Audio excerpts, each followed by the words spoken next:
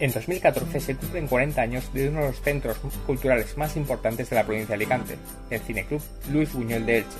Junto con uno de sus miembros, José Francisco Cámaras Empere, vamos a hacer un recorrido por la historia de un centro cada vez más necesario. Bienvenidos a Vivir Rolando.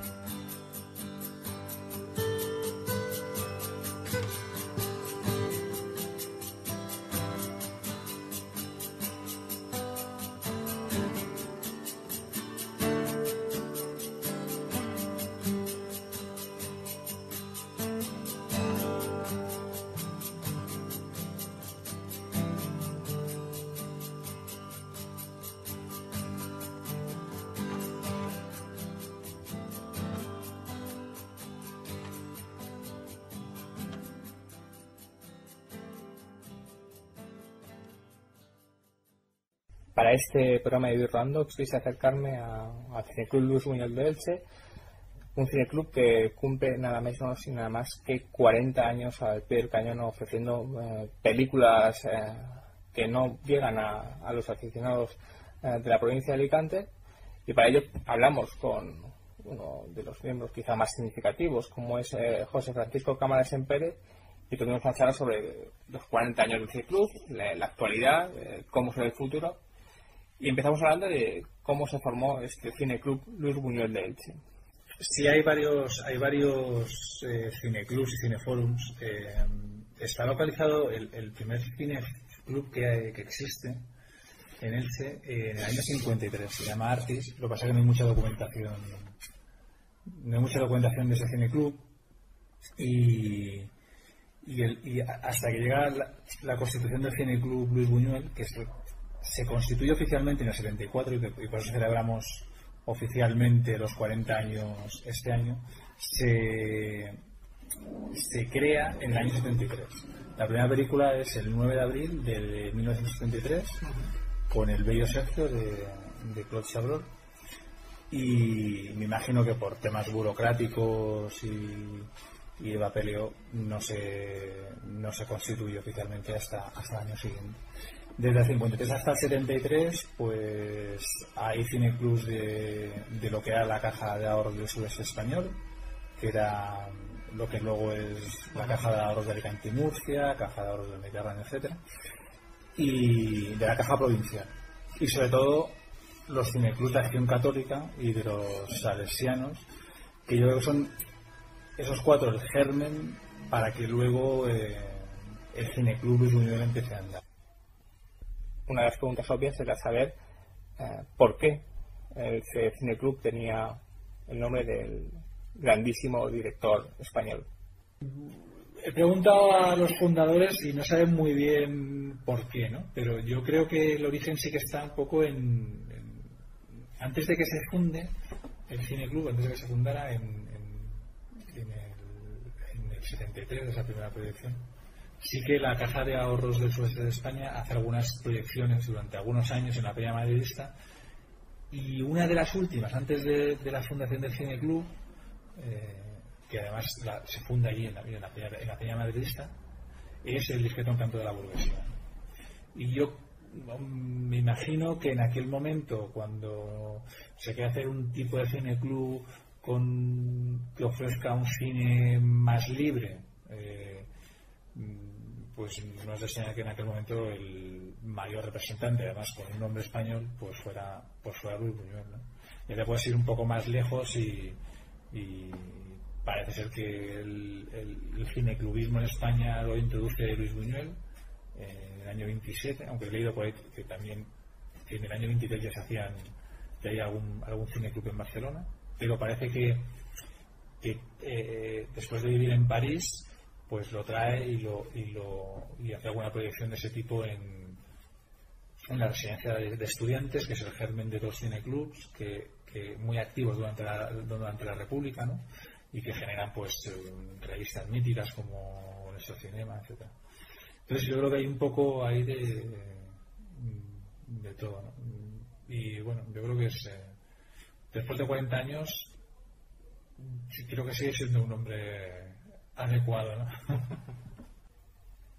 Eh, también quise saber eh, quiénes habían sido los fundadores eh, de este cine club, quienes habían sido los pioneros en poner en marcha una idea siempre tan, tan necesaria como es una filmoteca o un cineclub en una ciudad.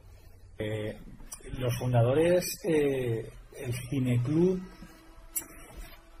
tiene siempre autonomía, pero siempre está vinculado desde el principio a, la Caja de Ahorros de Canti Murcia. entre sus socios fundadores eh, más, más celebrados o con, una trayectoria más, más notable o que, se, que aún en día se conocen, pues, por ejemplo está Jaime Bertón Guardiola, que era entonces el, el director de la obra social en, en Elche y que, y que se mantiene durante prácticamente 30 años en distintas tareas del Cine Club, en distintas tareas de la obra social y, ayuda de alguna manera a que el Cine Club ande adelante. Mm, también está, por ejemplo, el que fue también presidente durante 30 años, aunque el primer presidente durante los dos primeros años fue Juan Garrigós, porque, bueno, pues, como siempre cuando se constituye algo, eh, a, alguien hay que hacerle la encerrona, parece ser que llegó tarde a la primera reunión constitutiva y ahí le cargaron el muerto. ¿no? Y sobre todo, por lo que también me han contado, porque era también una persona eh, que generaba simpatía, pero cuando se crea un cineclub en los últimos años de la dictadura, que no se sabe muy bien qué tendencia va a tener, pues, eh, y además en, el archivo provincial está un, un, escrito, un informe de gobierno civil sobre las personas que iban a constituir ese cineclub, si eran aptas o, o si tenían algún antecedente o si eran, o si eran peligrosas. Y afortunadamente ninguna, ninguna lo era para el régimen. Eh, pues como te iba diciendo, Juan Garrigos era un poco la persona que, que de cara a todos o de cara a la galería eh, eh, representaba un, carácter acorde con, con, una presidencia. Y estaba Jaime Gómez que fue presidente durante 30 años, que es periodista, eh, célebre en, en, Elche, que trabaja en La Verdad, que tenía dos agencias de, noticias, eh, periodista deportivo, en fin, etc. Eh, Vicente Pérez Sansano, que ha sido pues, durante muchos años el, el, que ha programado en el Gran Teatro y que, y que ha sido mestre de ceremonias del Mystery Bells, o sea, una serie de gente que, que está muy afín a la cultura y ya en ese tiempo a otro tipo de cultura, ¿verdad? Y dado que se cumplen en este 2014 40 años nada más y nada menos de, de ese Cineclub Junior, bueno, pues había interés en saber cómo, cómo era el Cineclub hace 40 años y cómo ha cambiado respecto a ahora. Porque las películas que hacían en, el, en los cineclubs de acción católica eran muy dirigidos, aunque te podían poner con la muerte en los talones o Rebellion sin causa eran películas muy dirigidas a, a concienciar o a adoctrinar o, a enseñar a la juventud una forma de vida, estaban muy dirigidos a, una determinada moral. ¿no?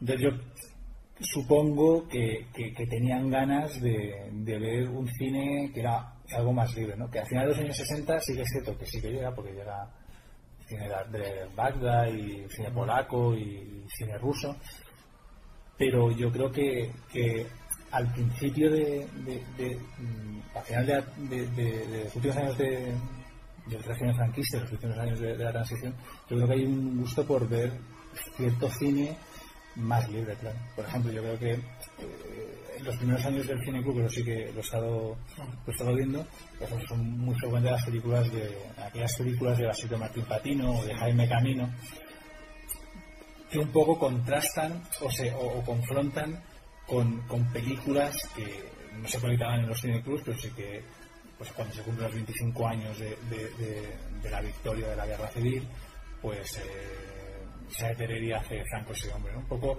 en esa confrontación surge un cineclub más libre o unos espectadores que ansían ver otras cosas. 40 años da para mucho, da para mejores momentos, eh, peores momentos, momentos donde parece que el cine club va a desaparecer, momentos de repunte. Y quisimos que José Francisco Cámara Pérez nos resumiera en, pocos pocos minutos esos 40 años de, de Cine Club.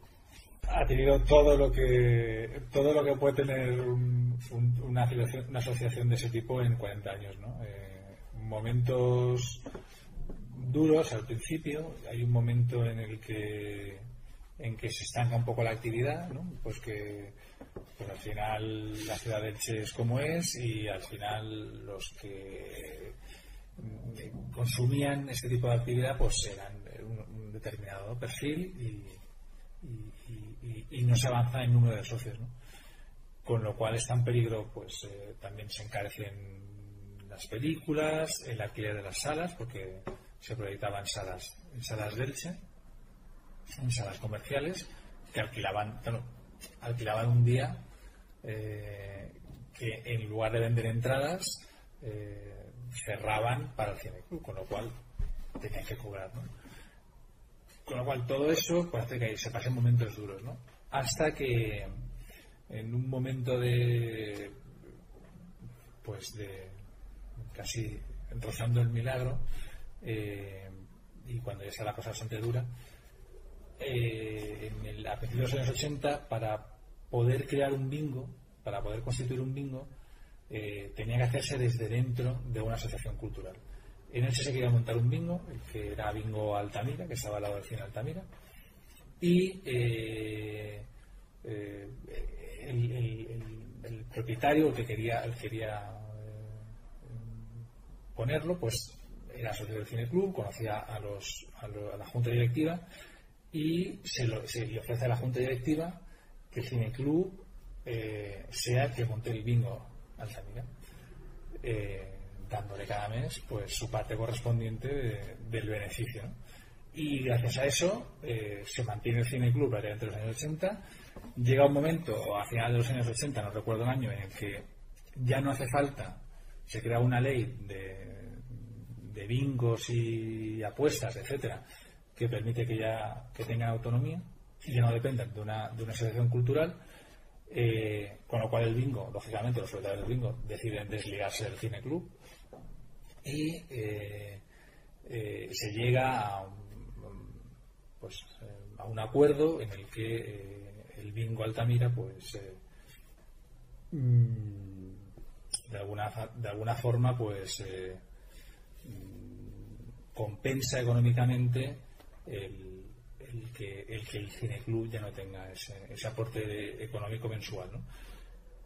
Una compensación económica que dura hasta estos días y que ha permitido pues pues eh, que, el cineclub remontara un poco en los años 90 y, bueno pues eh, yo creo que estamos viviendo algo de eso no tenemos un, fuerte remanente luego también hay un factor muy importante y sobre todo a partir de que de que cierran todas las salas de Elche y, y, el cineclub deja de tener una sala propia, entre comillas, ¿no? porque pues ha sido itinerante, ¿no? empezó en la Peña Madridista, luego en el Cine Avenida, en el, en el Ideal, en el Alcázar, en el Capitolio, en el Odeón, y termina en, en el Aula de Cultura de la CAM, que además ya durante muchos años eh, había tentado al, al cineclub porque había una colaboración, como he dicho antes, entre, entre la CAM y, el Cine Club, y, y el Cine Club acaba en la, en de cultura.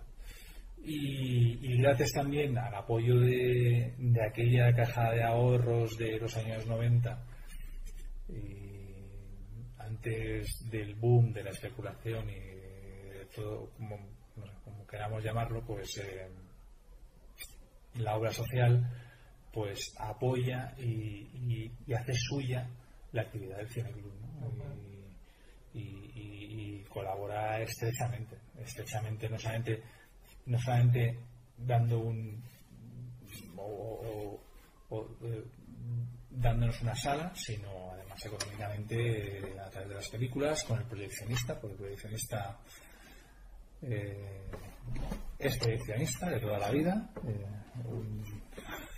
un oficio ya en decadencia, pero que es Antonio Blas Molina, y que por cierto sale en el corto de, de Chema García Barra en, Misterio, que es el marido de la protagonista. Y, y bueno, pues ahí estamos, seguimos allí. Ya no estamos en.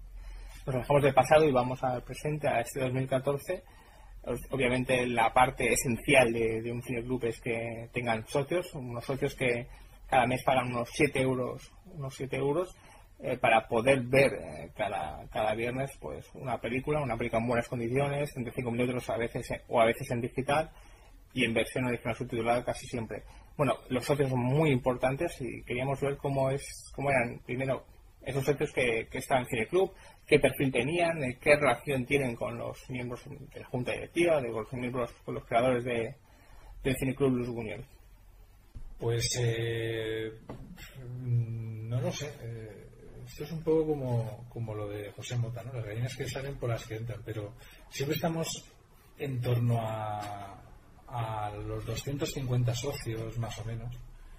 Muchos no van, pero, pero estudiaron en el Cine Club y siguen, y siguen pagando su cuota porque entienden que tiene que existir, con lo cual es muy agradecer. Y, y siempre hay alguien que decide irse, pero también siempre hay alguien que entra. ¿no? Y, ah, muy económica. Bueno, lo, lo único que mucha gente que, pues, ¿no? que lógicamente pues le gustaría que fuera un, porque muchas veces pues invita a alguien de fuera para que lo conozca y intentes hacer, hacer socios. Si puede ser de entrada libre claro eso conlleva tener una programación pues que pues eh, que claro eh, si tú pones una película que no le interesa a nadie ese viernes que te entran 60 personas. Pero a ti la película te cuesta lo mismo porque claro esto no es un negocio es una, una, una asociación ¿no? con lo cual eh, es algo que nos piden mucho eh, en Elche, pero que pero que es imposible por, por el tema de organización que tenemos ¿no? y y bueno, el tema de los socios, pues es, como decía Elena, eh, haría falta jóvenes que, que impulsaran un poco, pero bueno, no, no nos podemos quejar. Yo creo que yo creo que siempre hay que tener esperanza. Yo creo que el, que el Cine Club, no sé si le quedarán 40 años más, pero yo creo que alguno más sí que, alguno más sí que le quedan.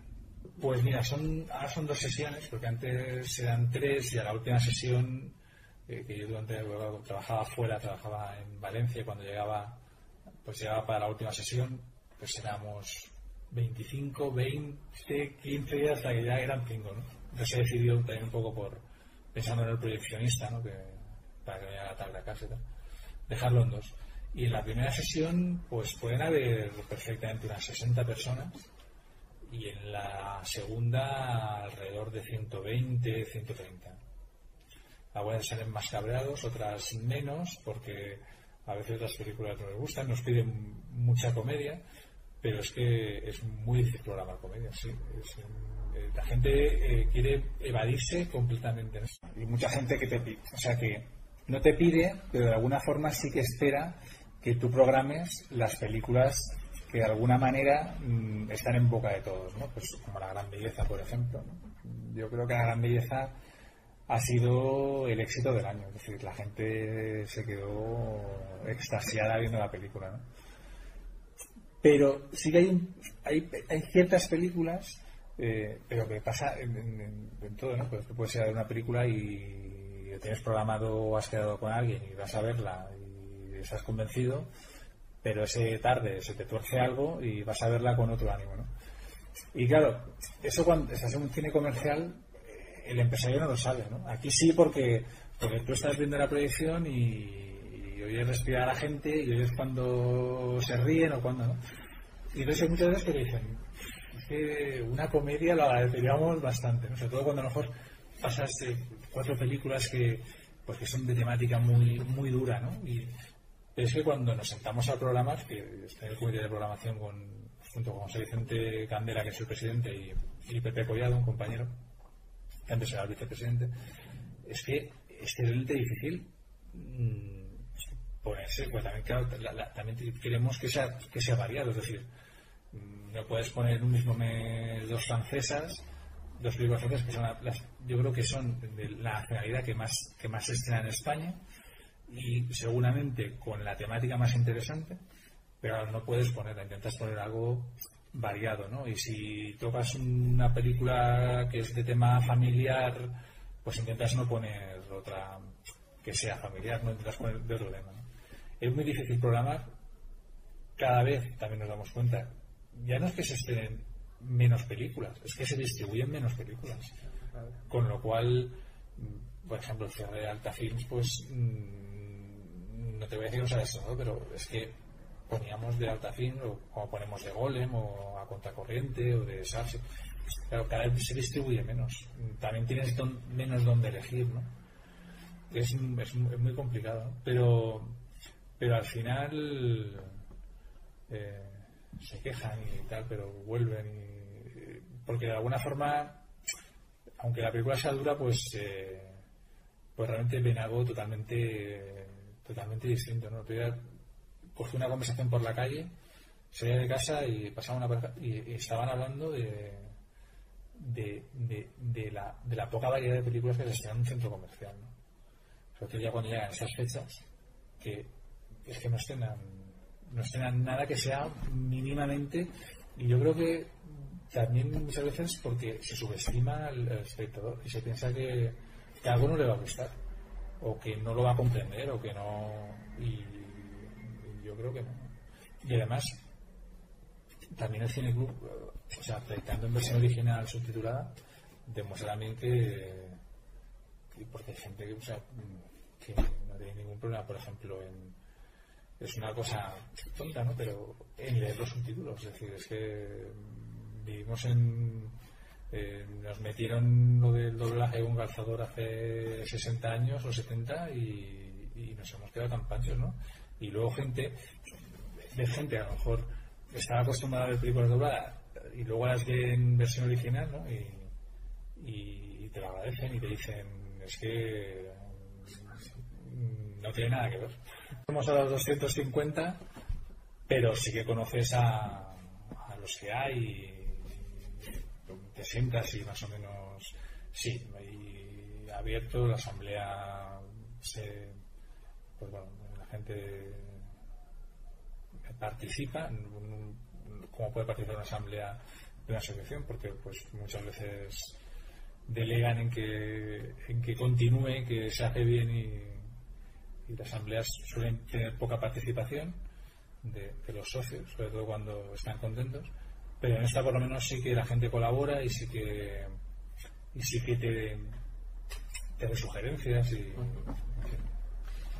eh, tenemos yo creo que nos dicen que tienen que no le pasa a otras que y, sigue adelante también porque tiene ese respaldo de los socios. Otro lugar importante en Elche eh, son los cines Odeón donde hay una especie de filmoteca donde se recuperan eh, películas eh, no estrenadas en Elche. Pero queríamos ver, le preguntamos a José Francisco Cámaras en Pérez si realmente eh, e-, ellos se consideran como la, la, verdadera filmoteca de Elche. Por eso intentamos proyectar cada año una película, una película clásica, porque porque de alguna forma tenemos que llegar y llegar ahí, ¿no? y nos da mucha rabia, por ejemplo, y es una cosa que estamos viviendo cada vez más, eh, cada temporada, y a la que es muy difícil luchar, por ejemplo, la última película, The Weekend, eh, vino doblada porque habían dos copias en toda España y, y estaban dobladas y, en fin, no pudimos pasar de otra manera. ¿no? Y, y, nos duele, sobre todo una película en la que en el que son unos ingleses en París, pues que puede haber una confrontación de. O sea, que, que es muy interesante el idioma y sobre todo además una película está penosamente traducida, penosamente doblada, pues, pues nos duele, ¿no? Porque de alguna forma, sí, a lo mejor tenemos esa, esa voluntad de, de, filmoteca, ¿no? Hemos pasado de, de, potenciar el, cine desde la libertad a, potenciar eh, el cine desde la historia, ¿no? ¿Y cómo se prepara una, una programación en un, en un cineclub? Eh, ¿Qué películas traen? Cuáles no, intentan que coincidan más o menos con la fecha de estreno o cerca de la fecha de estreno. O sea que le preguntamos a, a Cámaras en Pérez cómo, cómo se prepara una programación anual en, en el Cine Club Luis Buñuel. Anterior de cuando queremos empezar la programación de esos dos meses, ¿no? Eh, y nada, pues eh, vamos apuntando, vamos pues eh, a partir de todo lo que vamos eh, leyendo, pues eh, íbamos conociendo esas películas que se van estrenando y que no llegan, que nos interesan, que podemos ver que son de un perfil idóneo para el cine club y, las proponemos, ¿no? Y entre todos, pues decía que te das cuenta de que sí sirve menos porque antes los tres llevábamos películas totalmente distintas, a lo mejor coincidíamos en alguna, pero es que últimamente eh, la última programación del, del, mes de, del mes de mayo mm, fueron 10 minutos, porque es que llevábamos las películas tal cual, ¿no? O sea, había alguna variación, también es cierto que eran solamente cuatro películas que entraban en el mes de mayo, que es porque terminábamos, pero lo teníamos más o menos claro, ¿no? Y a partir de ahí, pues vamos casando lo que te decía, ¿no? Cogemos el calendario y, pensamos, ¿no? Pues, por ejemplo, cuando, ahora, si tenemos que, empezar a programar la próxima temporada, pues intentamos que la primera película pues sea una película que enganche, ¿no? Una película que la gente se quede con un buen sabor de boca, Y a partir de ahí, pues vamos, pues dependiendo de la temática que tenga esa película y de la nacionalidad, pues intentamos ir cuadrando las que a nosotros nos interesan de tal manera y dejando reservas. Y todo eso se lo pasamos a, que nos echa una mano extraordinaria, eh, Antonio Blas, el proyeccionista, que conoce y ha vivido el mundo de porque también se ha dedicado a, a eso desde, desde la CAM y desde otro, desde otros ámbitos y además lo conocen en, lo conocen en las distribuidoras. Y entonces pues pues pregunta pues esta película para tal fecha qué tal sí nos lo el, si no hay ningún problema pues pues ya lo tenemos. Y si no, pues, pues esta resulta que pues, creo que nos pasó este año no sé con la gran belleza. El año pasado por ejemplo con Amor de Haneke porque también haya muy pocas copias haya ganado el Oscar y no la podíamos pasar hasta final de abril con lo cual también pues si a lo mejor la tienes lista para marzo y la paras abril y ya tienes en abril alguna francesa o pues entonces te tienes que cambiar todo ¿no? Entonces, pues es un poco un puzzle que, afortunadamente se va cuadrando y luego también pues que nos digan si a lo mejor la película va a en soporte digital en Blu-ray, por ejemplo, porque también una cosa de las que se vanagloriaba o, o, o, destacaba el cine club era que proyectaban 35 milímetros, ¿no? Y pues ya cada vez menos desgraciadamente o afortunadamente, no, no lo sabemos, ¿no? Pero, pero bueno, estamos haciendo ese tránsito al nuevo soporte, mm, yo creo que de manera sosegada y, y bueno, eh, la gente también lo acepta. Y bueno, ya está, eh, no hay mucho más. ¿eh? A lo mejor hay alguna, alguna complicación de última hora o alguna película que hay algún problema, pero se suele resolver y bueno, lo sacamos lo sacamos adelante. ¿Y el clásico? ¿Cómo, y el clásico es, ¿Cómo lo conseguiste? Porque hay distribuidoras de, de, cine clásico y con las que hemos ido a trabajar y, y nos mandan cada principio de temporada pues un listado de las películas que tienen. Y entonces mmm, ahí ya un poco está pues el, lo que quieres resaltar ese año. ¿no? por ejemplo, el año pasado pusimos una de Nicolás Ray porque eh, tampoco, tampoco nos teníamos a los aniversarios ni nada de eso, pero el año anterior creo que había sido su centenario y, yo daba la casualidad que en aquella época estaba trabajando en Valencia y la Filmoteca Valenciana había hecho un ciclo de Nicolás Rey y, ponía esa película, ¿no? y con Humphrey Bogart. Y, bueno, pues eh, no pude verla. Me quedé con las ganas y bueno, la propuse a ver si se podía recuperar. El año anterior pusimos también que se cumplía, no sé ese año, de, Samuel Fuller, ¿no? Y pusimos Manos Peligrosas. Y poco a poco, pues intentamos en los clásicos no poner la típica película que se ve en televisión o que pues el socio pues tiene el, DVD o el, su casa, ¿no? Y, y, yo este año pues, me acordé que hace muchos años había visto esa película, que me gustó mucho, solo sé una vez, y, y bueno, lo pusimos y funcionó, ¿Y la gente cómo reacciona ante el clásico? Pues hay gente... hay gente, el tópico... Hay gente mm, que, claro, cuando es una película del año... Ese yo creo que es del año 39. Sí, de las primeras americanas. Del año 39, que han pasado pues casi 80 años. Pues claro, la gente que está acostumbrada a ver un cine más pegado a la realidad, aunque sea el autor, siempre está pegado a la realidad, mm, pues lo recibe, eh, depende. A veces sí que detectan que a lo mejor ha envejecido la película. Por ejemplo, pasamos hace muchos años, eh, claro, esa película ha envejecido porque también la forma de narrar, Lang al final tiene una forma de narrar que no pasa, ¿no? O, o Nicolás Rey o Samuel Fur. Pero pusimos, por ejemplo, eh, Senso de Visconti, ¿no? Y si decía de cierto manierismo que para un público que está acostumbrado a otras, películas, pues eh, le choca, ¿no? También es interesante ver eh, la relación con, el gran evento cultural cinéfilo de la ciudad de Elche, como es el Festival de Cine Elche, que, en unas semanas va a empezar, y también su relación con, eh, con el ayuntamiento, por ver si cuánto apoyo tenían de él.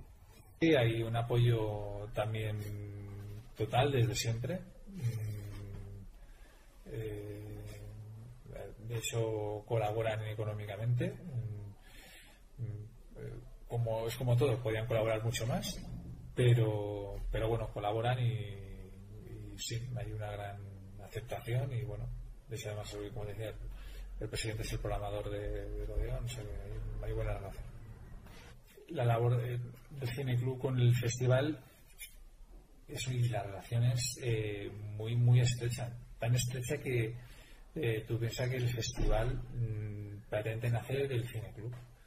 Nace tres cuatro años después precisamente porque bueno lo de chocolate lo compra la, la caja de ahorros del sureste pero recuerda que bueno, a finales de los años 50 y y Jaime Brotón Guardiola, que era entonces el tesorero del Cine Club y director de la obra social, en el año 77 más o menos, pues intenta darle, o, por indicaciones de, sus jefes en la caja, pues algún uso ¿no? al, al, a los del chocolate, hacer, alguna, hacer algún tipo de exposición pictórica con los fondos de la caja e incluso alguna sesión de cine.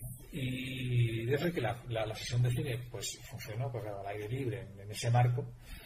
Y entonces, pues eh, como estaba en el Cine Club, pues a, partir del Cine Club pues se decide crear un, un festival que en aquel momento no era, no era internacional mm, y, y, funcionó y hasta tal punto, durante los primeros años, yo creo que durante los primeros 10 años prácticamente, el festival se organiza desde el Cine Club. Es decir, es el Cine Club el que, el que hace las bases, el que, el que, el que organiza, eh, pues no sé si en algún, se hace algún tipo de homenaje, pero el que decide si se hace super, si, que, es en Super 8, en 16 milímetros, en 35 milímetros, los formatos, que decide todo, ¿no? Las, las fechas, en fin, el organizador.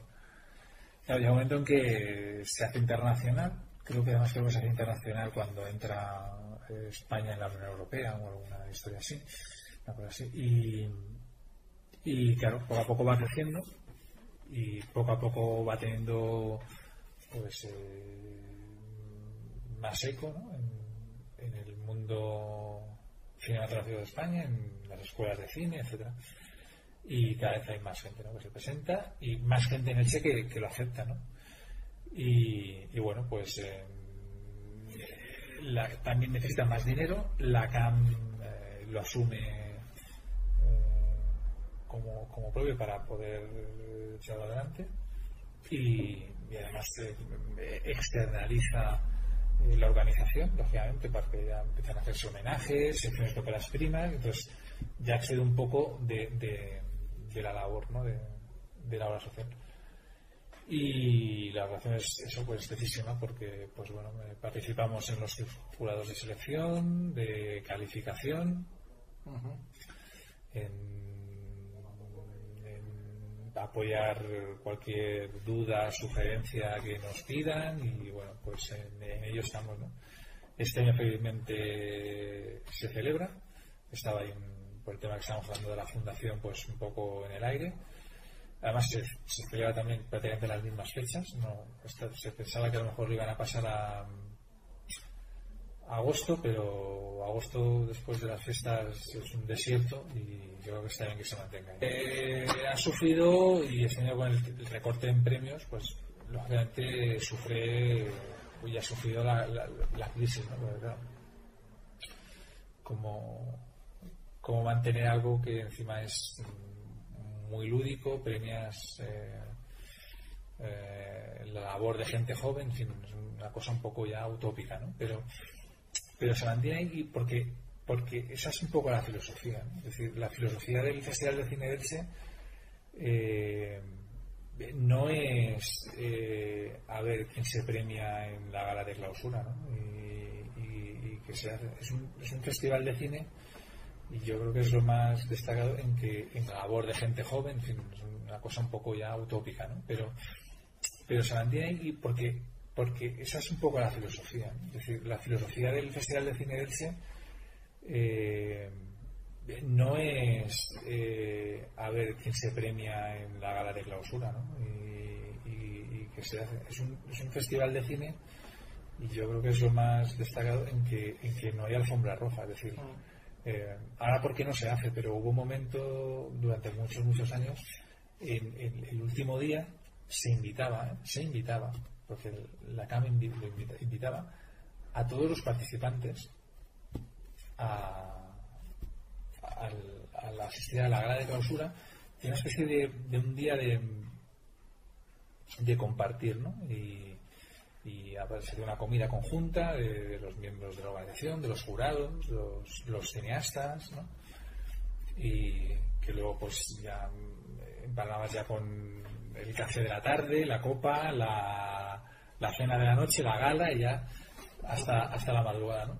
Pero, pero ese, esa voluntad de, de compartir entre gente de la industria, entre gente que se dedica a lo mismo, sin ánimo de, pero tú llegabas a, esa comida, por ejemplo, del último viernes, sin saber quién había ganado, pero estabas compartiendo mesa porque al final eh, lo que estabas celebrando no era un premio, sino estabas celebrando eh, el festival, ¿no? Estabas celebrando el cine, mm, que era muy importante. Eso se ha perdido, ya, ya vienen menos, pero cuando, cuando vienen algún cineasta se queda sorprendido de eso, ¿no? Y se queda sorprendido de, que la gente mm, se tira dos horas viendo cortos, hombre, la verdad que estamos escritos en el orden de chocolate y y te puedes llevar la cena y la bebida y eso y, te recuerda los fines de verano.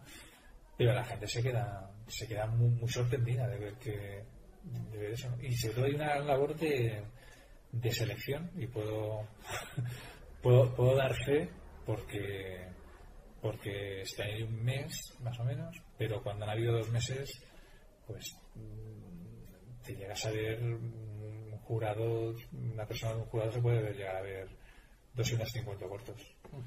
Eh, y, y, la voluntad de verlo y la voluntad de que en, ese juego de selección pues haya, haya gente de cine, como por ejemplo puede estar, pues no sé, gente de cine en Elche o gente del cine club, es que mm, al final están, están valorando o están evaluando algo mm, desde la parte técnica y no desde la parte del amor, ¿no? Y, te puedo asegurar que, que cuando estás en jurado llegas con tus, con tus cortos que prefieres y tu compañero ha visto otros cortos que a él le gustan, se entabla un diálogo, ¿no? Un, por qué tú has cogido este y por qué te gusta este, por qué no te gusta este, yo entiendo.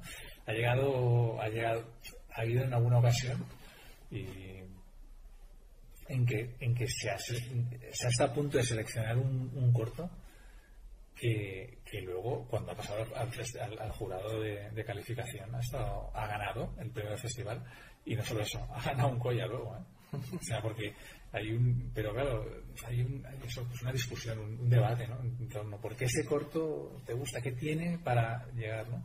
Intentas además seleccionar, claro, tienes que pensar un poco en el espectador, ¿no? Es decir, alguien que lo está viendo en, en, el orto, en los arenales, no puedes poner algo siempre que sea experimental, ¿no? Intentas, pues, algo de humor, algo de...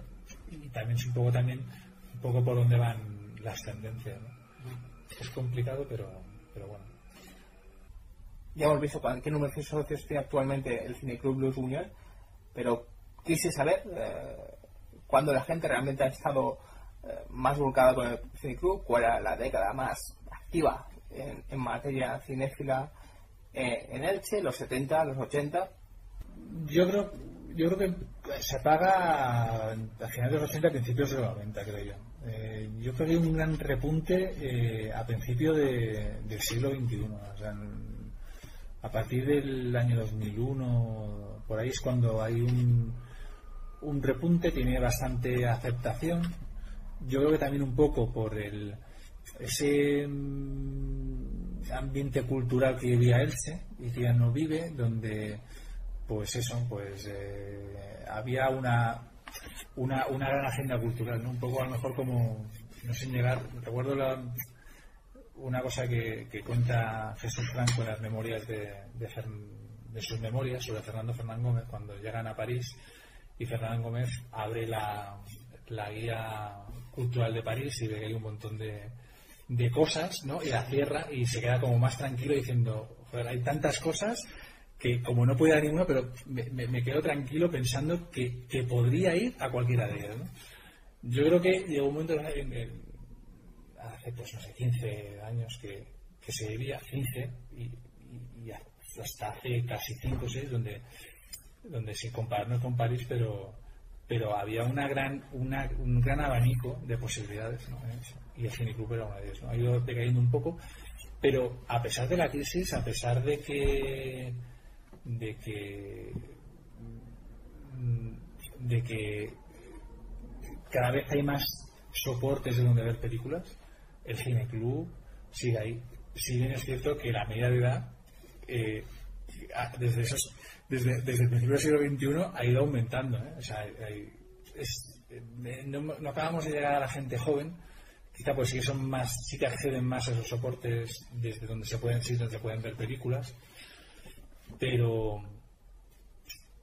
pero nos mantenemos porque había mucha gente, como puede haber en Alicante y en otras ciudades, que pues querían salir de su casa y en 10 minutos llegar a la sala de cine, ver una película y salir, comentarla y irse a tomar una copa o a cenar o, cualquier cosa. Y yo creo que eso el Cine Club aún eh, lo, lo, sigue cumpliendo porque sigue, sigue existiendo esa gente que quiere hacer eso. Y la cultura está pasando un momento terrible actualmente en España y obviamente no es un oasis o es una isla. Eh, quise saber culturalmente cómo estaba Elche hace 40 años cuando nace este Cineclub Luz Unión y en comparación con ahora.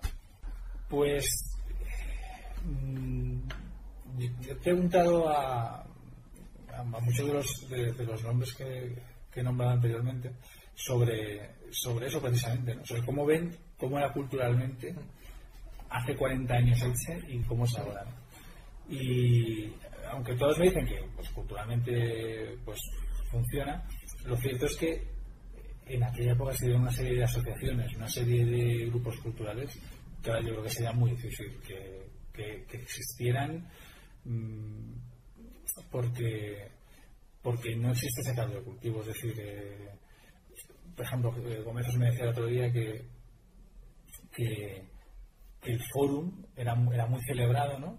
Mm, porque la gente, de alguna forma, accedía a una información que de otra manera no llegaba, ¿no?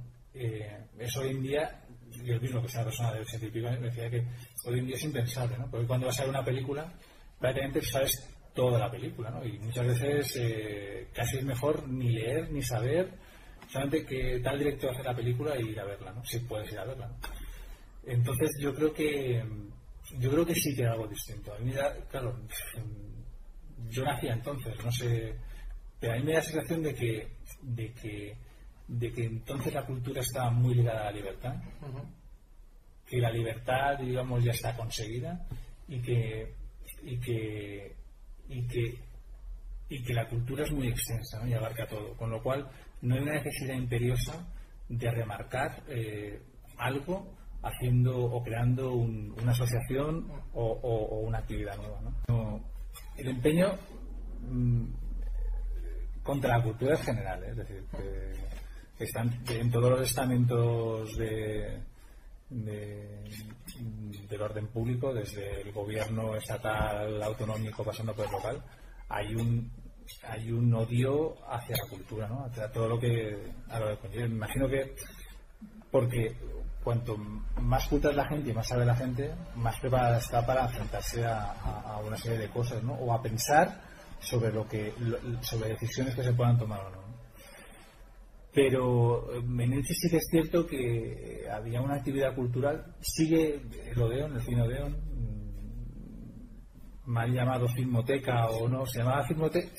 Esas son esas palabras que alguien las crea hace 20 o 25 años en el origen, en el origen, por lo que, por lo que sé, y me gustaría, sí que me gustaría un día investigar un poco sobre ello, sí que tenía, mm, sí que tiene una voluntad de filmoteca, ¿no? Era un poco una sede de la Filmoteca Valenciana Elche que pretendía investigar, de hecho tenía un fondo de películas en el archivo municipal, pero pues luego no se perdió o no estaban al frente de las personas que eh, que podían potenciarlo o políticamente no se quiso potenciar, no lo sé, ¿no? El claro es que hoy pues es un cine municipal. Y tiene mucha aceptación y los miércoles se llena, casi todos de señoras y señores de 70 años que cuando ven algo que no les interesa protestan, como hacían hace ellos mismos hace 50 años cuando iban al Alcázar o al Capitolio. Pero, pero pero solamente se lo Es decir, es que antes, en, hace 5 o 6 años, se hacían ciclos de cine mudo. Y, y se proyectaban, pues, eh, pues garras humanas, eh, gabinete del doctor Gargari.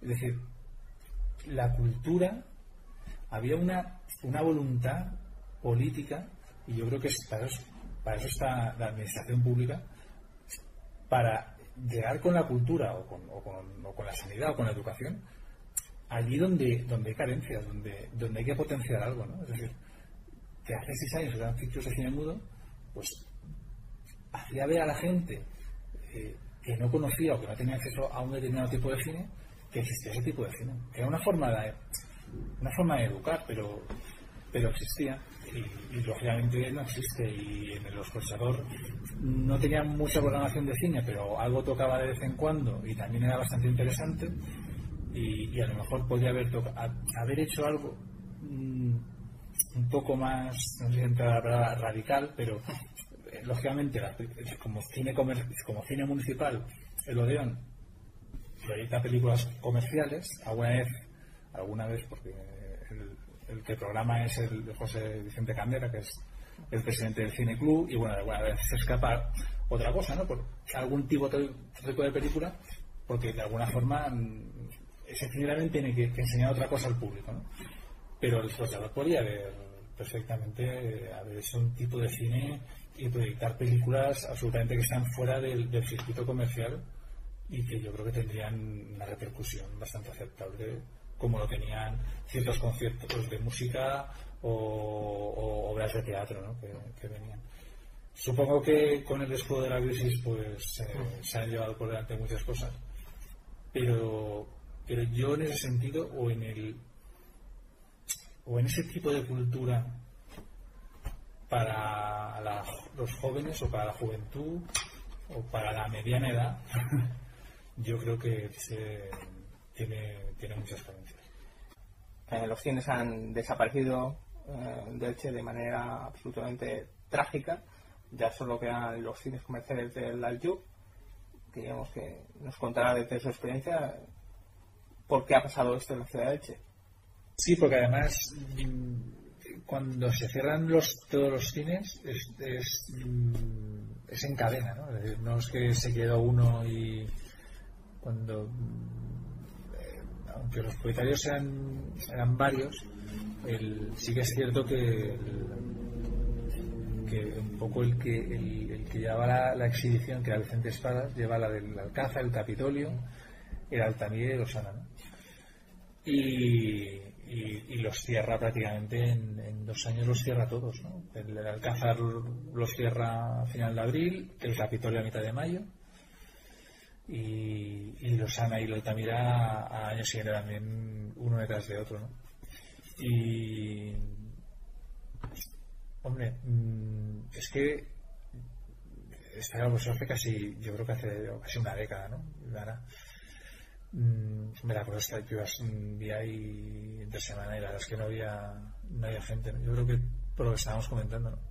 Porque ahora tú vas entre semana a Odeón y sí que, sí que hay gente, ¿no? En el, Odeón tenemos, en el Cineclub tenemos los 250 Con lo cual llegas a la conclusión de, joder, si la gente quería ver cine, salir de casa ir al cine, pues a lo mejor algo tenía que ver, ¿no? Los precios, Pero sí fue bastante, fue bastante sangrante porque, y yo creo que, precisamente una cosa que eh, estábamos comentando antes de, uno de los últimos tirones del cine club, precisamente es cuando cierran las salas de las salas del, centro, ¿no? De la ciudad. Las salas estaban estaban en, un radio de, nada. Es que casi podías, si en una tarde querías hacer sesión doble, podías salir de un cine y meterte a otro con facilidad. Quizás los únicos que podían haber sobrevivido, bueno, los no eran de Vicente Espada, eran de, de, Antonio Martínez, pero también, bueno, cierran en ese caso porque, porque los, los vende al ayuntamiento para, para para meter esta falsa filmoteca. Y, bueno mmm, enseguida se desencadena los otros cierres y la, pena de la pena de eh, los Odeón pues bueno tienen sus carencias y era un cine que en aquel momento pues estaba en ese punto entre la evolución del cine que se hace en los bajos de un edificio con el megaplex de las salas comerciales ¿no? de, los centros comerciales pues ahí eh, pues, con sillas incómodas. Y, entonces, eh, y después de haber estudiado como estudié el trabajo guerra recién en casa, te quedas un poco con el con el mal sabor de boca de que, de que a lo mejor eh, se merecía a lo mejor haber, haber salvaguardado algún cine como los antiguos y, y, eso que tenemos la suerte que espero que espero que la tengáis aquí en Alicante con el con el ideal porque el, Capitolio se, hubo una voluntad de Zara de, mantener el edificio. Luego tampoco se sabe a qué punto eh, durará, porque lógicamente pues eh, se van cerrando también tiendas en el centro del CE y bueno, pues la que se llegará a todo el mundo. Esperemos que no y que se pueda se mantener. Y luego una voluntad de los arquitectos, de Antonio Serrano Bru y Valderrama, de mantener prácticamente aquel, aquel edificio. Y tú entras al Capitolio, claro, si ya habéis entrado al Capitolio siendo espectador, es fácil, es fácil recordar aquel cine que, viviste. Si eres un joven o un niño que no lo conociste, claro, entras y ves un edificio histórico y, poco más, ¿no? Pero, pues lo del, lo del ideal de Alicante, pues bueno, porque me da, me da pena decirte, porque es un edificio, porque yo he pasado veranos en, en Alicante, en la playa de San Juan, y yo iba con mi hermano al cine ideal. Entonces, eh, al final el, cine está convirtiendo en algo como muy sentimental, ¿no? que está aún vinculado a unos recuerdos, pero lo cierto es que el cine ideal es un edificio espectacular. Y, bueno, pues yo creo que merece conservarse, ya que nos han conservado tantos edificios, porque si tú ves una, fotografía antigua de, Alicante con el cine monumental, pues espectacular y como pueden haber otros en, en Y claro, eso es triste, ¿no? Porque mm, yo tengo una, bueno, una teoría. yo creo que al final estamos volviendo un poco a, aquellos orígenes o aquellos preorígenes del cine, ¿no? Es decir, antes del cine antes de que los Lumière deciden que eso se tiene que ver, que, que, es, espectáculo, ¿no? que es, algo para la colectividad, se veía, o sea, la ficción se creaba en casa. ¿no? Tú tenías las linternas mágicas y, las ondas chinescas. Y, yo creo que estamos volviendo un poco ahora a eso, ¿no? a, mm, consumirlo en casa. Y, y, es una pena porque ya no se van a dar edificios como ese, es decir, ya no se, ya no se van a volver a construir cines ideales ni cines Alcázar. Es una pena que, el Alcázar, por ejemplo, no, no sirviera no sirviera como, como, como un centro de cultura ¿no? que, se hubiera, que se hubiera mm, salvaguardado por dentro. Está la fachada, pero por dentro se destruyó. Y con el cine ideal no haya pasado lo mismo, porque claro, estamos diciendo, bueno, por lo menos que, que mantengan por lo menos en pie lo que queda. Pero es que a lo mejor con lo que había hace 10 o 15 años, pues se podría haber tenido un centro de cultura en el centro de Alicante de, primera, de primer orden, ¿no? Y, se han creado otros que nos, no sé si son mejores o peores, ¿no? Pero que se perdió una oportunidad, más se perdió una oportunidad en un momento de bonanza económica, donde era, era fácil invertir. Y ya que estamos hablando del presente en el cine en Elche, ¿cómo veía él el futuro en el cine en general? Yo creo que la piratería no va a desaparecer. Eh, me, decían que, que precisamente a raíz de, de ese apellido vascos, que, que preferían, mm, la habían visto de forma ilegal, pero que preferían comprársela a alguien en el Tomanta que, eh, que descargársela de cualquier sitio. Entonces, Claro, ya cuando hay una preferencia entre hacer algo, entre hacer algo ilegal de esa forma o ilegal de la otra, ya te planteas que, que, joder, que la ilegalidad está bastante instaurada, ¿no? Y sobre todo, con este vídeo de Vasco es una cosa eh, que, que tú que estás más enterado de todas esas cosas, igual que sabes, eh, leía, no sé si en algún tuit de, de Oscar Velategui, que había tardado mucho en entrar en el circuito pirata esa película. Entonces, mm, te preguntas hasta, hasta qué punto la piratería está controlada o no. Es una, esa es una cosa, ¿no? Por lo cual yo creo que la piratería no, va no creo que desaparezca. Y yo creo que los cines mm, les va a costar desaparecer. Creo que mm, si realmente los que ahora mismo tienen un poco de, de, la pasta, que son las televisiones, se comprometen algo más. Y si. Porque ya debería de contar con la voluntad política, pero no creo yo que estemos para eso. Pero yo creo que también sí, de alguna forma, los exhibidores, como he hecho con la fiesta del cine, que parece que se va a reestudiar y parece que se va a potenciar, también se está potenciando mucho algo que es algo muy antiguo, porque es casi tan antiguo como, como el cine, que es lo del Día del Espectador, que era una fórmula que al final se diluyó y, yo, digo se diluyó porque últimamente estoy leyéndolo bastante, que existe un Día del Espectador y, no sé si es porque mm, yo creo que no dejó de hacerse, pero yo creo que alguien como se ha dado cuenta que hay un día que vale más barato, no sé, es, mm, yo creo que el cine debe encontrar otras formas. Lo que pasa es que, claro, también estamos mm, delante de la contradicción. Es decir, el cine que se va a mantener es el cine que nos interesa, el cine que se ve en, un cine. Y bueno, cuando todos son maléficas y X-Men y tal, que no quiero decirte que, no sea un buen, que no sea un cine entretenido, ¿no? Y que, y que, tenga, no sé, creo, que puede ver perfectamente eh, maléfica y,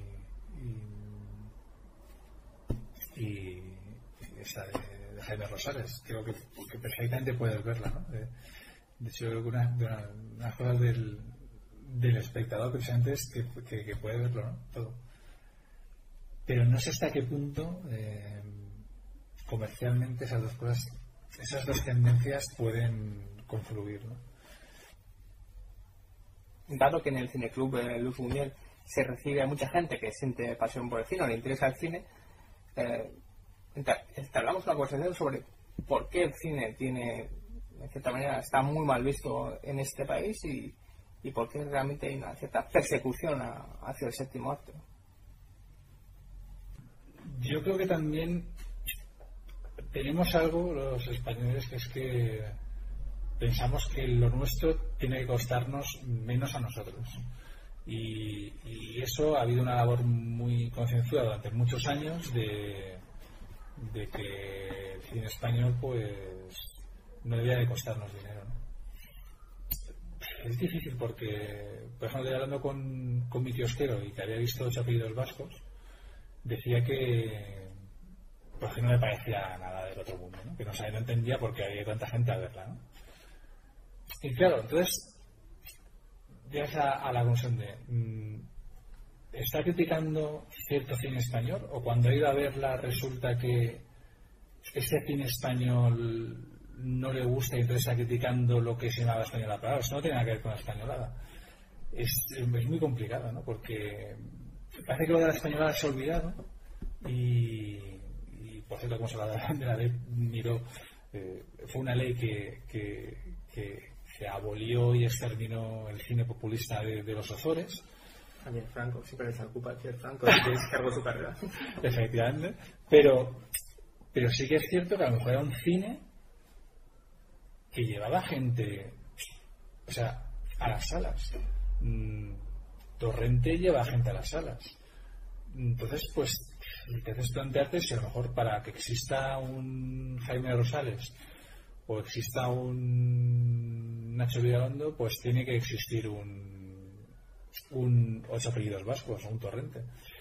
Entonces, yo creo que lo que falta, y, yo creo que desde hace varias décadas, es eh, una reflexión profunda y un debate concienzudo de, de, qué es el cine español y, qué queremos o, qué, o, la administración pública que quiere de esa industria.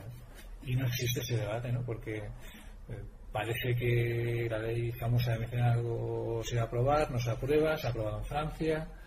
Mm, también parece que que iba a tocar la ley y ya le quedan prácticamente dos años y no le va a dar tiempo a tocarla. Y seguimos ahí, ¿no?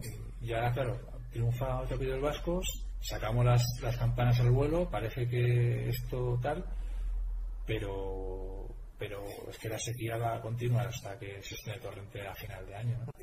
¿Por qué está perseguido? Es algo, no sé, eh, a veces lo más recurrente es pensar en lo del no a la guerra, la famosa gala de los Goya, etcétera, ¿no? Pero estoy leyendo un, periódico del año 64 que le hacen una entrevista a Vicente Espadas, hace 50 años. Eh, ya se quejaba Vicente Espadas de, la poca afluencia de espectadores y de, y, de cómo me armaba, ¿no? Porque ya empezaba la televisión, ¿no? 50 años después estamos con los mismos problemas. No ha habido. Sí que en esos 50 años ha habido alguna voluntad política, pues, pero ¿qué voluntad, qué, qué apuesta hay desde el gobierno o desde cualquier gobierno por, por el cine? Ninguna, ¿no? Yo creo que, que, no hay ninguna representación española en un festival como Cannes. Bueno, estaba en una cierta mirada sí que estaba Jaime Rosales, o, pero ni va a haber en Toronto, ni habrá en Roma, ni habrá en Venecia, y el único San Sebastián porque es de casa. Entonces, eso, por ejemplo, con, con, con, con Pilar Miro no pasaba, ¿no? Eh, eh, las películas eran premiadas en pues, Paco Raval y Holanda premiados por los Santos Inocentes en Cannes, o, o de alguna forma eh, también y, al final de la, dictadura con Carlos Saura que ganaba osos de osos de oro o José García Sánchez o, Emilio Martínez Lázaro el director de, de esos apellidos que se olvida pero que, ha ganado en Berlín entonces ¿qué repercusión? o sea había como una era una especie de, marca España pero ahora mm, la marca España de cine es Pedro Almodóvar y, poco más. Y cuando no sale Pedro Almodóvar, España no está representada en el cine. ¿no? Entonces, mm, ¿por qué lo odian? Mm, yo creo que porque no hay una apuesta firme en, por, la industria. Yo no me imagino. El otro con consejero de industria en Elche yo no imagino de industria diciendo que el calzado que se hace en España es de mala calidad. Y en cambio sí que ha salido el ministro ver diciendo que el cine español era malo y que por eso no, no, no entraba en aquí. O sea, y, se ha demostrado a los vascos que no es así. Es decir, puede haber una película que sin ser de gran calidad, como esa película, lleva mucha gente, primero porque hay una gran labor de marketing. Mm, y habría que ver mm, hasta qué punto las televisiones tendrían que estar aún más encima del cine y, que, aunque eso también es polémico, ¿no? porque cuando el, gobierno lo reguló, la que no sé si fue la ley SINDE, que regula que tienen que dar un 5%, se, se sacan enseguida las, las uñas, ¿no? los, los de las televisiones. Pero sí que es cierto que hay un, un odio ancestral por, por, por, por este tipo de cultura y, y, lo que representa el cine. Y es, y es y es, es muy duro saber dónde, dónde radica el origen, porque... La versión original prácticamente ha desaparecido de la provincia de Alicante, pero el Cine Club Luis Buñuel sigue luchando por poner, poner películas en versión original y quise saber cuánto, por qué esta desaparición del cine en versión original paulatinamente en la provincia de Alicante. Pues mm, no lo sé, porque ya te digo, o sea, en la última película del Cine Club pues a la hablada porque no había copia no había copia en versión original, ¿no? Y te parece extraño porque luego, ya te digo, o sea, que luego la pones y la gente lo acepta con absoluta normalidad. Pero claro, ¿cómo aceptas con absoluta normalidad en un país donde hay escuelas de doblaje? Claro, es que ya si el negocio es pequeño, o, ya parte del negocio lo estás conduciendo hacia una determinada cosa. Es decir, si tú estás a la gente formándola en ser dobladores que realmente mm, quieres que haya un cine doblado y, la versión original ha sido un reducto un reducto absoluto y, y, desgraciadamente ¿eh? porque porque yo creo que además si si no existiera el doblaje, seguramente el cine español sería otra cosa. Pero no ahora, ¿no? Pero bueno. Pero claro, eso tiene que ver mucho con, pues eso, cuando en los años 50 o en los años 40 el cine servía para educar o para que la gente se entretuviese en una cosa y no pensara en, lo mal que estaba en aquel momento el país, ¿no? Mm. Lo veo eso lo veo lo veo lo veo duro eso que pueda que pueda solventarse no porque porque sí que eso sí que los exhibidores sí que sí que salían ¿no? para crear fiestas de la pero en eso sí que no hay una no hay una postura que alguien diga esa película porque no se puede poner en sobre todo cuando estoy convencido que y sobre todo ahora que eh, también por la crisis no parece que, que, despunta un poco la enseñanza de idiomas no porque porque parece que en el extranjero está la salvación no y, quieres que tus hijos estudien idiomas pues a lo mejor sería una buena una buena manera de de, de proyectar Maléfica en, en versión original subtitulada. Y, y, yo estoy bueno, no, no, seguro no pero mm, yo creo que si tú a un crío lo, empiezas a lo empiezas a, enseñar a, hacer ciertas cosas desde temprana edad al final se acostumbra a eso. Es, es una cosa de, de educación al final. Prácticas como el bot el, el video on demand en el que la gente se pueda ver de su casa a través de una conexión a internet, alquilar o comprar películas, eh, puede afectar a una a una filmoteca, un cineclub como el Luz Buñuel? Eh, yo creo que es yo creo que es un, arma poderosa. Yo creo que es un arma poderosa también si realmente eh, es expande, pero no es que se expanda, sino que que llegue hasta donde tiene que llegar, ¿no? Porque claro, muchas veces las plataformas al final distribuyen o exhiben en función también de lo que se distribuye y se exhibe ¿no? en, un cine, en una pantalla grande. Y a veces también hay cierto cine que no llega ni siquiera ni siquiera a la plataforma ¿no? Yo creo que mm, yo creo que si que si funcionan bien es decir si la gente al final lo consume yo creo que pueden ser un arma a lo mejor es el, futuro de, de, un cine club, ¿no? Es decir, es lo que te decía antes, es decir, tú puedes ver eh, la teología de amor, esperanza en, en, filming y, comentarlo por Twitter como si estuvieras en un cineforum, ¿no? A lo mejor ha cambiado la ha cambiado el soporte, pero a lo mejor la no ha cambiado a lo mejor tu deseo de, de, ver cine y de comentarlo. Yo creo que todo es un poco canalizarlo. Lógicamente, eh, la oportunidad que podamos tener aquí en Alicante o en el es, es ínfima, ¿no? Es decir, mm, nos duele y nos y nos, nos fastidia, ¿no? Pero, pero sí, es, es complicado. Y luego, pues es decir, las noticias que vienen también de Madrid o de Barcelona, porque sean muy halagüeñas, ¿eh? Porque, porque es eso, es que, es que al se está distribuyendo muy poco. Por ejemplo, una película que triunfó en Berlín, la de Richard Linklater, va a tardar, o sea, nueve meses en estrenarse en España. O sea, nueve meses. José Francisco Cámaras Empere ha publicado recientemente el Cinemiles Apunts per a la seva història.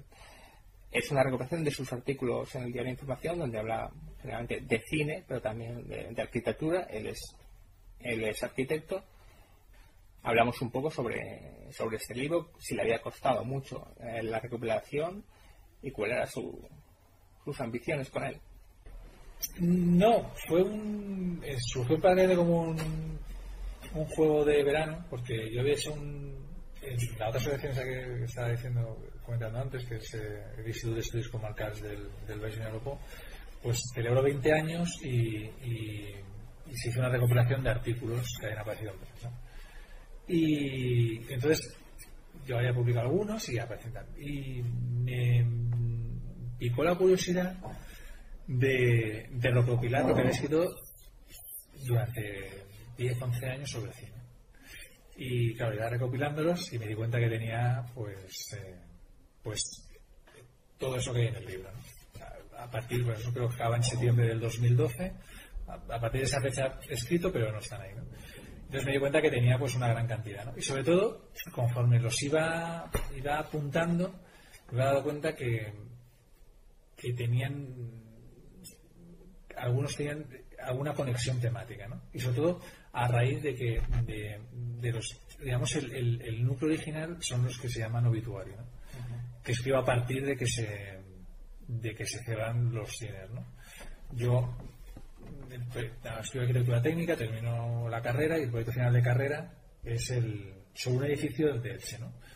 Ofrecen algunos y, y como me interesaba el cine, pues lo tenía claro, o el Alcázar o el Capitolio, ¿no?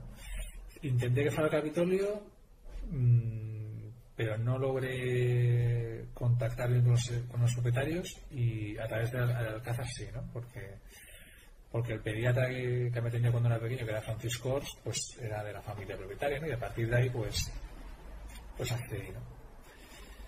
Y, y bueno, el proyecto final de carrera y, bueno, el arquitecto Gaspar Jaén me, me, dijo, pues bueno, que ya que algo interesante de la ciudad y tal, que a lo mejor le puede interesar información, pues escribir algo. Y, y bueno, lo escribí y a partir de ahí, pues pues fueron cerrando cines y me fui indignando, me fui cabreando y sobre todo luego fui investigando, ¿no? Porque, pues cuando empecé a hacer trabajo final de carrera sobre Final Alcázar me di cuenta que, ¿no? Eh, sí, bueno, de la historia y tal, pero piensas que ya hay cosas escritas sobre algo, ¿no? Entonces fui a la historia de, de Alejandro Ramos y nada más habían dos referencias al cine en más de 100 años. Y las dos eran una de 1901, de, de una proyección de Eduardo Jimeno, y otra de, un pabellón de serie, el, pabellón de, el, Palacio del Sol. Con lo cual, a partir de ahí, pues una vez que acabé el proyecto final de carrera, ya durante el proyecto, pero claro, como era sobre el final Alcázar, ya, ya empecé a, investigar y a estudiar, pero luego me fue picando la curiosidad, ¿no? Y, y luego pues publiqué un, pues un estudio sobre el Capitolio en la revista La Reya y, y bueno, sobre el Palacio del Sol, que hace, lo publiqué en La Reya hace dos años. Luego hago también algunos trabajos en, el boletín del Colegio de Aparejadores y Arquitectos Técnicos. Y me fui, ¿no? pues eso, pues mm, intentando fijar una historia, ¿no? como dice el título, unos apuntes, ¿no? porque al final también te vas dando cuenta de cosas, pues por ejemplo, ¿no? del fragmento ¿no? y que se utiliza en la portada de, de, de los Jueves Milagro, donde aparece Elche y el Misteri para, para un poco eh, desenmascarar a, a Pepe Isbert, o la utilización de la música en, en, una película de Salvador Dalí. Poco a poco vas intentando intentando saber, ¿no? El prólogo del Cinema Elch, Apunts para el seu història, escrito, está escrito nada más y nada menos que por el crítico y escritor Vicente Molina Foix. Sí, bueno, eso tiene historia porque, bueno, comenta antes que, que veraneaba en la playa de San Juan y por esas cosas del destino y, esas cosas que en una, en una mala novela, en una mala película, son coincidencias que resultan muy inverosímiles, en la realidad son, son, son verosímiles. Y es que mm, yo, bueno, mi familia veníaba en la playa de San Juan, porque no tenía mi madre, pues tenía un apartamento, ¿no? Vivía en Alicante, era soltera, era modista y tenía un apartamento allí, ¿no? Y pues nos íbamos en, verano. Y mm, vecino, de pare con pare, era la familia de Vicente Molina pues que bueno, pues eh, eh, Vicente Molina Foix había nacido en Elche y, habían, pues la madre de Vicente Molina eh, pues eh, hablaba con mi abuela y con, con mi tía de, de, cosas de y del misterio y tal, ¿no? Y, incluso yo me acuerdo alguna vez, eh, pues cuando era pequeño, pues haber coincidido con el ascensor, ¿no? Y que dije, ah, pues mira, es pues esta persona que pues vive en Londres y escribe en los fotogramas y tal, y tienes no sabes lo que es los fotogramas, pero luego un, día descubres que, que sí, tiene que escribir fotogramas y, y compras el fotogramas, etc. Pues, pues bueno, y a partir de ahí, ya mucho tiempo después, ya no era yo un niño ni, estaba en, la playa de San Juan, pues coincidimos en, la inauguración del Museo de la Festa, no sé, a finales de los años 90, y, iba con mi madre y tal, y bueno, pues eh, me lo presentó mi madre porque se acordaba, y, bueno, a partir de ahí, pues eh, fue creciendo la amistad también a partir de que mi hermano Héctor Cámara y, un amigo Luis Jimeno crean una página web que es lafesta.com sobre el Misteri y pues bueno, la queremos dar a conocer entre pues ilicitanos ilustres, ¿no? Y una Vicente y que la apoyó y que nos ayudó y que y entonces a partir de ahí pues fue fuimos eh, alimentando una amistad que casi siempre pues eh, por carta o a través de email y, un amigo presidente de Luis Jiménez eh, cuando dije que bueno pues había pensado en recopilar el libro recopilar los artículos en el libro, pues me animó a que, a que fuera Vicente, pues lo pidiera Vicente. Vicente accedió y bueno, pues mm, ahí está. El libro del Cinema Elche, Apunts para la seva historia, lo podéis conseguir en, en Elche, la librería de Ituc, o en Alicante, en 80 Mundos, o yendo, visitando la web de la cátedra Pedro Ibarra. Y dado que teníamos, dado que en el programa está un arquitecto, eh, la arquitectura, como he dicho en el libro, está presente, pues quería que me contara un poco la relación entre, entre arquitectura y cine, lo importante que son las salas de cine para, para poder ver una película en condiciones, cosa que ya cada vez es más difícil porque las salas de cine prácticamente están desapareciendo. Eh, es que el, edificio era, era, era, concebido como parte del cine, es decir, era parte del espectáculo. Se hacían esas fachadas porque ya en esas fachadas ya existía el reclamo de igual era algo que venía a lo mejor de, que el cine en un momento dado eh, sale un poco de los teatros y porque la burguesía prefería el teatro a final del siglo XIX principio del XX y, se va a las ferias entonces un poco en las ferias pues eh, todos son luces y intentar un poco vender con la imagen que entres ¿no? a, la, caseta ¿no? y un poco mm,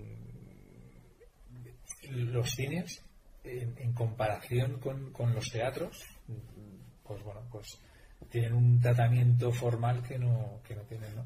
Y claro, el tratamiento formal que, pues claro, me pasa que también, claro, nos hemos acostumbrado a tantas cosas, pero claro, tú te imaginas a, alguien que en los años 50, en la España de los años 50, con, con que no, las calles no tenían asfalto, no tenían adoquín, no tenían nada, no había agua potable, no había...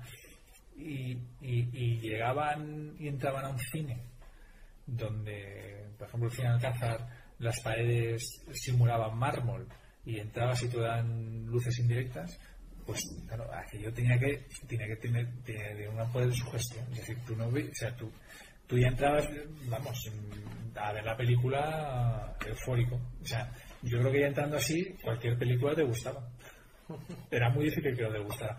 Encima, pues veías películas, pues, mm, del tipo que aquel, en aquel momento, ¿no? Sobre todo cuando empieza el cine más cope que, en fin. Pero sin duda lo más importante, quizá lo más significativo que tiene, que tiene Elche es el, misterio de Elche. Y quise que, que José Francisco Cámaras en Pérez me, me a estos dos, dos eventos como es, dos grandes espectáculos para mí eh, como es el cine y el misterio de Alche. Mm, yo creo que no, porque yo creo que no en el sentido de que el cine, el, misterio, perdón, eh, debe mucho de, del teatro. El teatro llevado tal cual a, a, la pantalla, pues bueno, sabemos cómo resulta, ¿no? No es muy los resultados no son muy aceptables. O sea, tienes para, para, que una obra de teatro funcione, tiene que dejar de ser obra de teatro y, constituirse como, como, una entidad propia de, de, una obra cinematográfica. Entonces, mm, es difícil que el, que el misterio llegue a, a, a una pantalla, ¿no? se han hecho documentales. Pero sí que hay elementos, ¿no? que es un poco lo que, lo que utilizó Carlos Saura ¿no? con, sobre todo a través de, Luis de Pablos, ¿no? que fue el que le, el que le propuso utilizar la música ¿no? en Peppermint Frappé. Yo creo que sí que puede servir ¿no? para, para, como en esa película o en los Robos, reforzar de alguna manera el, argumento. ¿no? Y, o, en la película de Salvador Dalí, ¿no? que parece imposible que juntar el, el misterio con, con Vermeer, el, pintor, pero pero lo une, ¿no? Y, y, funciona. Entonces, o, lo que hace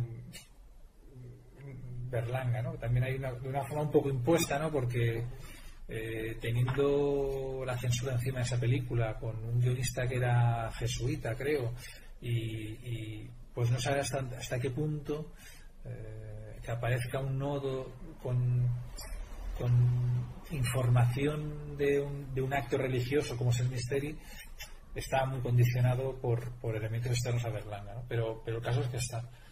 Entonces, pues bueno, eh, son cosas interesantes. Sobre todo hay algo que, que sí que me interesa mucho del, del, eh, del misterio en el cine, que es el, cine que no existe. ¿no?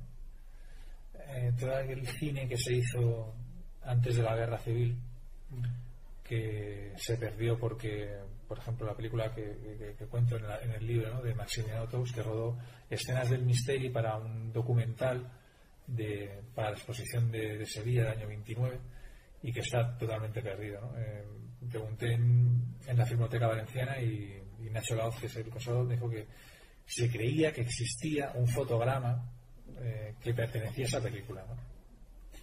Entonces, ese es un poco el, lo que, cómo, cómo, aparecía el, misterio hace casi un siglo ¿no? en, el, cine. ¿no? porque también creo que cuando viene Alfonso XIII, a él se Alicante también se rueda una película, que también creo que ha desaparecido. Entonces, eso sería muy interesante conocerlo, ¿no? Lo que pasa es que es imposible.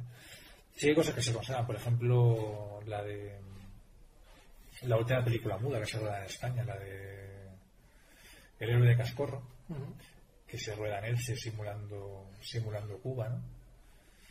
Mm, son cosas eh, interesantes en cuanto que te pueden ser un poco chauvinistas, ¿no? Porque claro, prestar atención a un fragmento en el que aparece la película, pero pero puedes igual que en una fotografía te puedes llegar a, conocer, a saber cómo era cómo era Elche o cómo era el misterio es, es una cosa muy interesante y a la que estoy poniendo algún esfuerzo que otro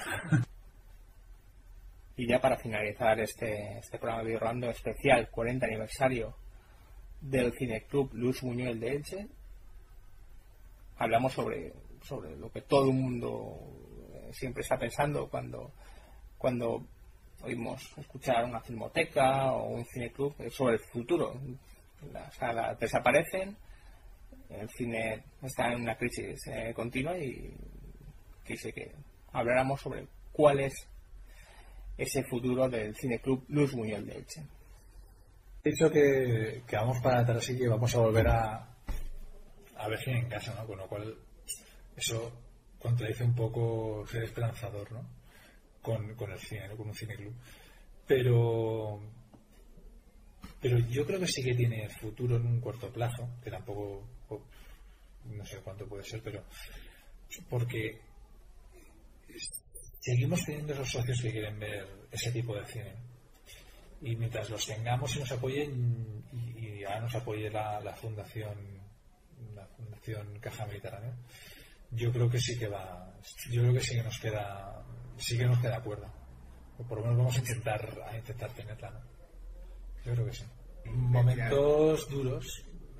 No es yo estoy en varias asociaciones en Elche y, no es de las asociaciones en las que participas en la junta directiva y, y, tienes ganas de tirar la toalla, ¿no?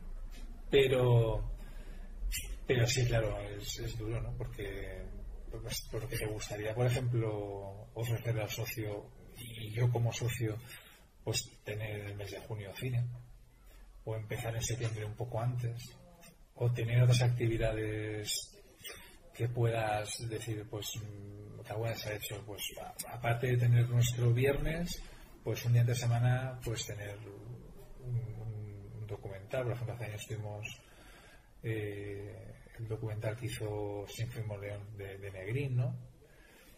y claro, te, apetecería y, ofrecer algo más al socio o a la ciudad, porque también se hacen algunas actividades para, para el público.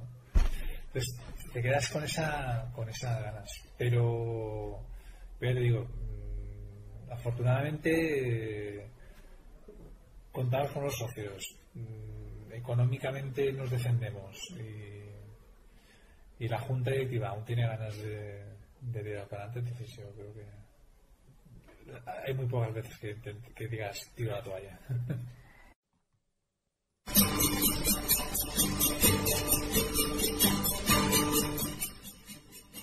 Aquí finaliza Luis Rando.